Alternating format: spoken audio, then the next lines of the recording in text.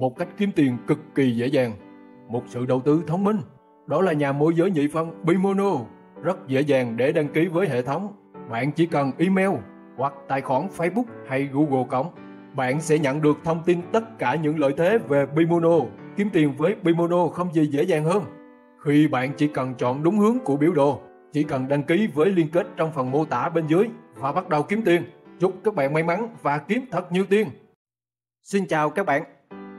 Tôi biết rằng chúng ta đã từng nhìn thấy những con rồng trong truyện, huyền thoại và cả những bộ phim mà chính họ là nhân vật chính.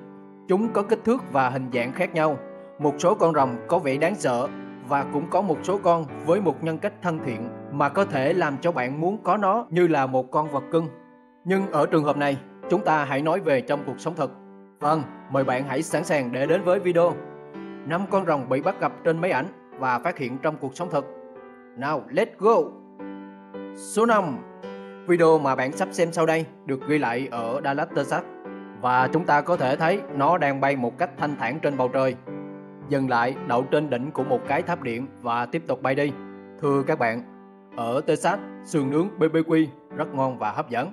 Nhưng chúng ta không muốn nó được làm từ một con rồng. Tôi hy vọng điều đó sẽ không xảy ra và đây là clip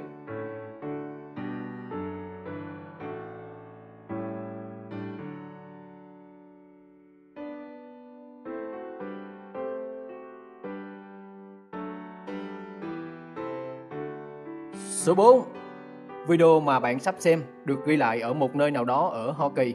Vị trí chính xác không được xác định, nhưng nhiều người đã chứng kiến một sinh vật lạ khổng lồ bay lượn trên bầu trời. Đôi cánh của sinh vật này rất giống với loài dơi, nhưng theo quan điểm của tôi, tôi có thể cho bạn biết rằng nó không phải là một con dơi. Theo bạn nó có phải là một con rồng không? Mời bạn xem sinh vật kỳ lạ này.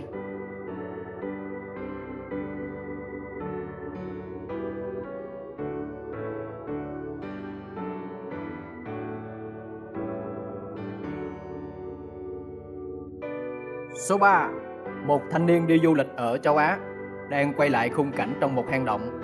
Anh vô tình quay được một sinh vật kỳ lạ đang di chuyển trên mặt nước gần dưới chân anh. Nó trông giống như một con rồng nhỏ, da trắng như sữa và đang uống lượng bơi lội trong làn nước. Chỉ cần nhìn thấy hình dạng của cái đầu và cách cử động của nó Mọi người cho rằng sinh vật kỳ lạ này rất giống một con rồng trong thần thoại của Trung Quốc. Mời bạn hãy sẵn sàng để xem video.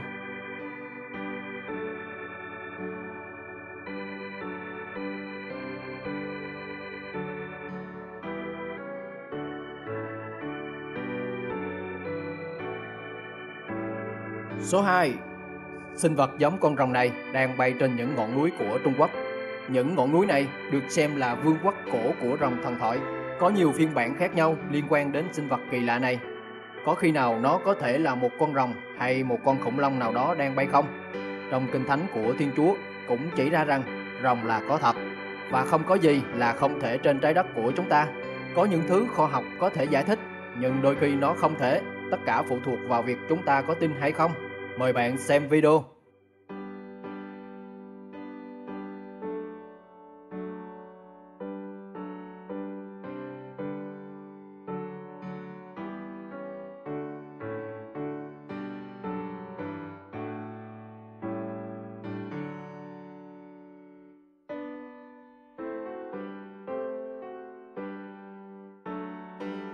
Và cuối cùng là số 1 các phương tiện truyền thông ở Mexico đã phát hành một đoạn video rất kỳ lạ. Sinh vật trong đoạn video này đã được tìm thấy trong món tráng miệng và không một ai đã từng thấy bất cứ sinh vật nào giống như vậy. Nó đã bị bắt giữ bởi một nhóm bảo vệ dân sự. Khi được phân tích, nó được xác định là một con rồng hay một sinh vật nào đó tương tự như loài rồng. Nhưng mời bạn xem video và cho ý kiến của bạn ở phần bình luận.